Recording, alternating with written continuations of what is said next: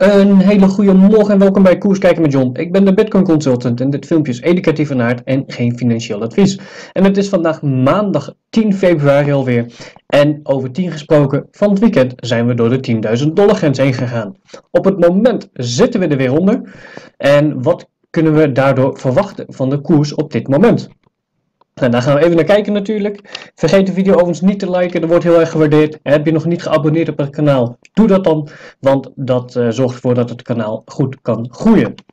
En we beginnen met, de, beginnen met de futures chart, want wat we zien op de futures chart is dat er natuurlijk een gap was ontstaan. Hè? De markten van de futures die gaan dicht in het weekend en als de, hè, de bitcoin markt die gaat natuurlijk 24-7 door. En we hebben gezien dat er een nieuwe gap is ontstaan. Die is natuurlijk ook meteen gevuld. Uh, voordat we daarheen gaan kijken, wil ik jullie eigenlijk even wijzen op een andere gap die hierboven zit tussen de 11.000. Nou, even kijken hier zo, tussen de 11.000. Ik ga er gewoon op klikken. Tussen de 11.780, dat klopt niet. 11.695 en de 11.795. Dat is een gap die nog niet is gevuld. Ze worden niet allemaal gevuld. Hè. Zoals hieronder zit ook een gap rond de 7600 die niet volledig gevuld is. Uh, maar ik zal zo direct verder uitleggen waarom we die nog even specifiek erbij halen. En om in te zoomen op de gap van vandaag, die is eigenlijk meteen al gevuld, of die ontstaan is. we zien hier dat er een gap was ontstaan. Nou, die is duidelijk gevuld. Uh, deze hele lange week vertelt me ook dat uh, bulls are buying the dip. Dus dat is eigenlijk een hele bullish candlestick, want dat laat duidelijk zien dat de bulls niet willen dat die prijs uh, onder die 95 ja, onder die 9500 komt eigenlijk. Dus laten we dat getal ook even in de gaten houden. 9500. Ehm, eh, en ook al zijn we daarna iets verder gaan zakken. Uh, is het goed om te weten. De gap is al gevuld, dus daar hoeven we dan niet hè, bang voor te zijn. En we zien dus ook dat de koers hè, tot op de 9500 wordt verdedigd door de bulls. Inmiddels zit de future chart al wel weer boven de 10.000. Volgens mij op de spot charts nog niet. Daar gaan we zo direct even naar kijken. Nog heel even naar de maandelijkse grafiek. Um, hè, dit is de grafiek waar ik eigenlijk op maanden naar kijk. En ik zie de koers in ieder geval nogal doorgaan naar de 11.300, 11.400 hier bovenin. Um, om de resistance van deze downtrending lijn weer aan te raken. Kan het natuurlijk ook zijn dat we er bovenuit komen. Hè? De lijn is nu zo getekend. Het kan zijn dat die iets wordt aangepast. Maar dat is iets wat we nog moeten afwachten. En ik ga het gewoon zien. Voor deze maand is nog wel wat boelvolume erbij. Om te bevestigen dat we ja, eigenlijk goed zitten. En als er nog een of andere katalysator is. Dan verwacht ik ook dat we boven deze driehoek al kunnen uitbreken. Maar tot nu toe uh, verwacht ik dat we binnen deze driehoek gaan blijven de komende maanden. Op naar de wekelijkse. Hè, dus een nieuwe wekelijkse candlestick begonnen. We zijn mooi uh, gestegen de afgelopen weken. En er moet een keer natuurlijk resistant zijn. En de 10.380 die hebben we niet kunnen bereiken. We zijn wel boven de 0,382 Fibonacci die je hier ziet. op het grote plaatje van 20.000 naar de bodem. Uh, is de koers op een gegeven moment van 3000 ongeveer gaan stijgen naar de 14.000. En zijn we net boven die 0,618 Fibonacci resistance gekomen. En daarna zijn we gaan dalen. En op dit moment, hè, na die daling, hè, zijn we weer gaan stijgen de afgelopen weken. En dan zien we dat we nu de 0,382 Fibonacci resistance, ook hebben gebroken. En dat is een heel bullish teken, samen met het feit dat als je kijkt naar de candle bodies, dat we daar boven gesloten zijn met deze candlestick van vorige week dus um, nee, je hebt hier eigenlijk de bovenkant van deze rectangle, deze groene box. Dat was eigenlijk de resistance. Daar zijn we boven gebroken, zijn we boven gesloten. En de nieuwe week die begint weliswaar bearish. Maar dat betekent niet dat we nu ook de correctie gaan zien. Hè, want iedereen die is natuurlijk op die correctie aan het wachten. Ik heb het er zelf ook al weken over. Hè, want we gaan echt wel hard omhoog. En er moet een keer een correctie komen. Maar het kan zijn dat we die voorlopig nog steeds niet krijgen. Dat zagen we hier eigenlijk ook. Hier was iedereen op een correctie aan het wachten. Op een gegeven moment kregen we hier een 20% daling. Wat wel heel flink was. Maar daarna zijn we gewoon vrolijk verder gestegen. Dus het kan goed zijn dat we hier eigenlijk even blijven pakken. Misschien doorzakken richting die 9600 tot 9500. Zoals we op de futures chart zagen. Uh, support. Om vervolgens dan weer door te gaan naar die 0,5 uh, eh, Fibonacci niveau hier. En dat dat dan de resistance wordt. En dat ze ook samenvallen met de candlestick van de resistance hier op 11.500. En dat valt ook samen met de futures gap die op de 11.700 zit. Net daaronder. Dus voorlopig verwacht ik dat we eigenlijk hè, misschien een kleine correctie kunnen verwachten. Uh, misschien boven die 9600 blijven en dus helemaal niet meer richting die 8800 gaan op die 200 daily moving average die we zo direct even gaan bekijken. Maar dus een kleine correctie en dan verder naar boven. Dan gaan we naar de dagelijkse grafiek. Er zijn eigenlijk een aantal dingen op de dagelijkse grafiek die ik wil gaan bespreken met jullie. We, zaten, we zitten in dit opwaartse kanaal die er al een tijdje op staat. En op een gegeven moment was ik aan het kijken naar een bull die aan het uitbreken was, die is uitgebroken. Maar we zijn, de technische target zat op 10.600. Maar er was ook een flinke resistance op 10.300 vanwege dit punt hier. En hier zit ook resistance. En we zien nu dat we in ieder geval voorlopig zijn uitgetopt op de 10.100. 70 ongeveer, 10.180.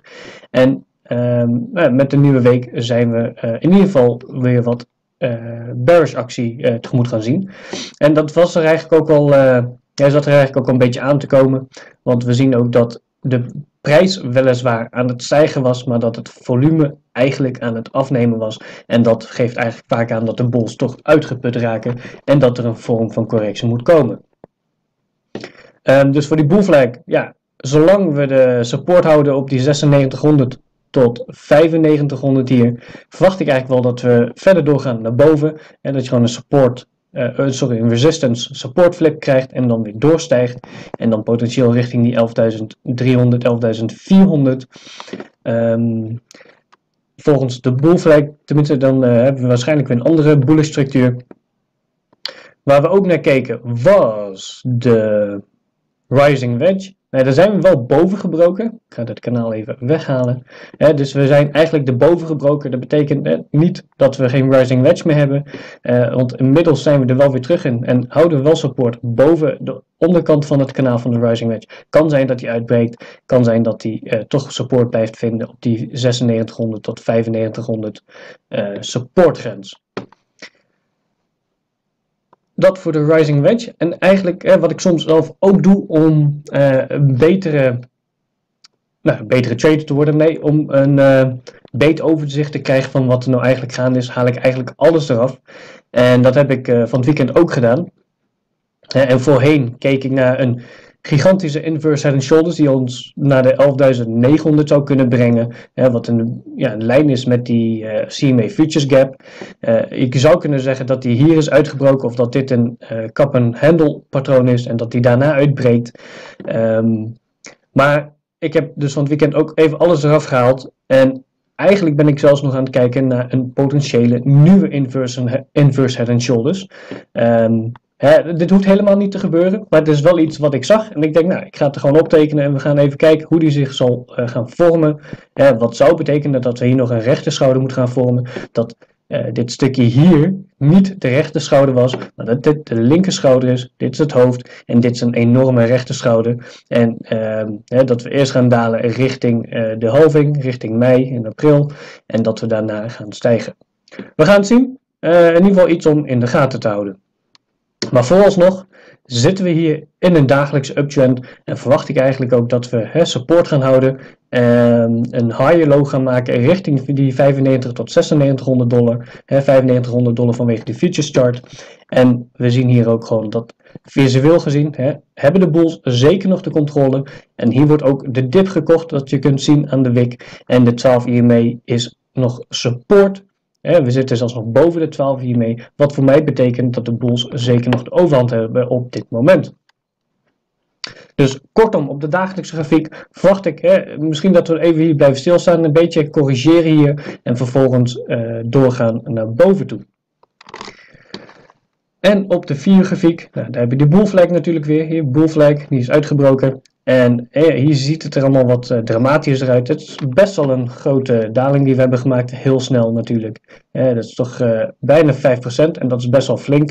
In de crypto scene misschien niet zo heel veel. we zijn eigenlijk dwars door die zone heen gegaan voor een Fibonacci retracement.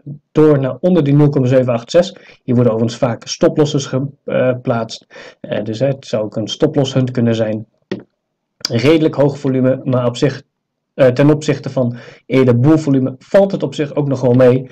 Um, hè, en we lijken hier die 12 IMA supporter toch te willen gaan houden. En ook die 0,382 Fibonacci. Dus vooralsnog ziet het er voor de Bulls uh, niet heel slecht uit eigenlijk. En zolang we die 96, 39 houden, uh, verwacht ik eigenlijk ook dat we hier verder naar boven gaan. En op de uurgrafiek ziet het er nog uh, wat dramatischer uit. Hier was een mooie trade opportunity met een RSI oversold bounce. Hè, de RSI die raakte de 30 aan. Hè, je had dus in, kunnen inschalen hier naar beneden. Ik was lekker aan het slapen overigens. En vervolgens is die koers flink gaan bounce. Net tot onder die 10.000 net boven die 10.000 en is daar weer eigenlijk afgewezen. Dus op de korte termijn kan het zijn dat we nog even een, hè, dat is eigenlijk een low high wat we nu maken op de 1 uur grafiek. Dus hebben we hier een low, low high en dat we eigenlijk een beetje gaan rangen boven die 9800 en wellicht we ook nog wel doorgaan naar die 9600 voordat we verder gaan. Kortom, uh, nou, nog even de Bitcoin dominantie. Die blijft nog steeds zakken. Er zit een supportniveau hier onder op de 63,3%. Dus het kan zijn dat we nog een stukje verder zakken. En dat betekent dat de altcoins nog blijven shinen. Hè? Want die zitten nog steeds in de uptrend. En die heeft een belangrijke resistance van de, Bitcoin, de altcoin dominantie verbroken. En daarboven zit het pas. Hè? Dus we hebben nog zeker 1%, 1,5% om te gaan voordat de altcoins, altcoin dominantie weer tegen resistance aanloopt. Kortom, de charts zien ondanks uh, de nieuwe start van de week, die een beetje bearish is, nog steeds uh, positief uit wat mij betreft. We hebben de uptrend en die op de dagelijkse en die hebben we ook nog niet verloren. Er moet een correctie aankomen, zeker op de wekelijkse grafiek. Maar het kan zijn dat we dankzij alle FOMO en alle bullishness nog even door blijven stijgen naar richting die 11.400. Nou, vond je dit nou een leuke video? Vergeet hem dan niet te liken in ieder geval. En wil je nou ook leren traden en deze charts leren lezen, zodat je zelf je analyses kunt maken. En op zondag bijvoorbeeld, als ik geen uh, analyses doe voor Bitcoin Magazine, dat zelf kunt doen. Bekijk dan zeker even mijn cursus die je onderin de videobeschrijving vindt met de link. Ik zou zeggen, happy trading, een hele fijne maandag en een hele goede week verder. En ik zie jullie morgen weer.